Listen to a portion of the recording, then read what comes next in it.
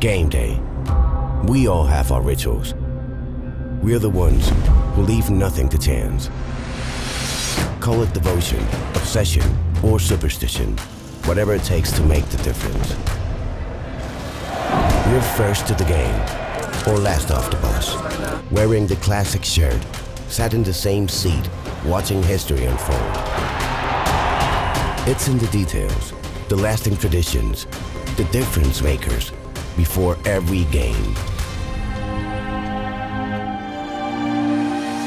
It's the unexplainable magic that makes football real.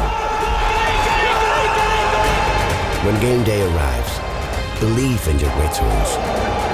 No act is too small, no touch insignificant.